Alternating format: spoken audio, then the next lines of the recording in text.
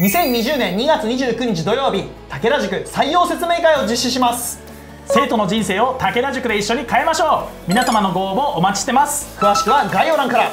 武田塾教部長の中森です。それでは今回も質問に答えていきましょう。この動画に対しての質問は下のコメント欄からお願いします。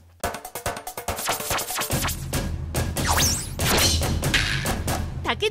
チャンネル。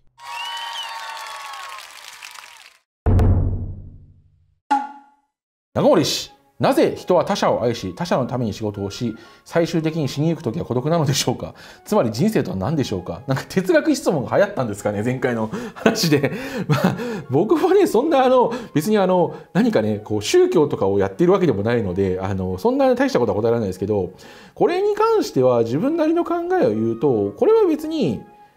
他者を愛しとか他者のために仕事をしっていうのは別にそれ自体は自分のためにやってるケースっていうのも全然あるとは思うからある事柄に対してどう捉えるかの違いでしかないんじゃないかなと思いますよね。あの例えばその、まあ、死にゆく時っていうのもそうだけど例えばいろんな人に囲まれて死んでる時に孤独に思うか人に囲まれてるか孤独じゃないって思うかっていうのはやっぱそれはどう見るかっていうのは人によって変わるとは思うんで別にそれはどなんかこうそれをどう考えるかっていう結論を出すことが人生なんじゃないかなとは思いますかね。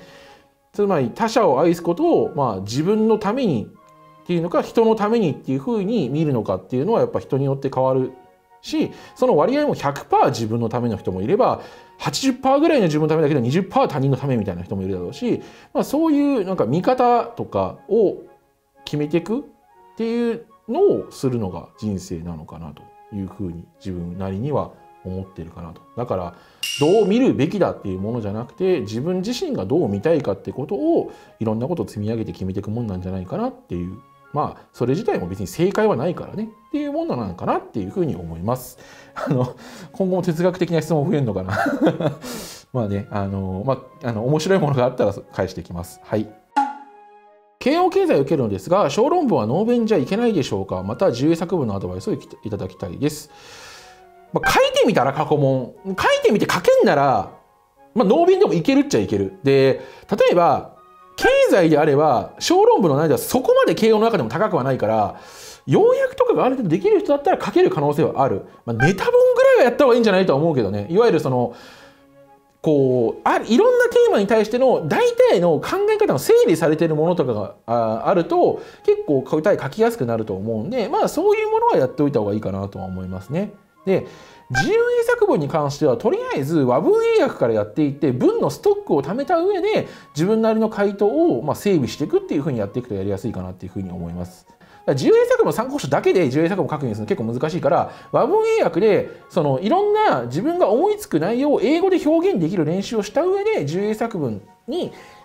もう自由英作文の参考書やって出題形式に合わせた書き方の練習をしていくっていう、まあ、やり方でやるのがいいんじゃないかなと思いますね。中森先生のモーニングルーティンについて知りたいです。ルーティンか。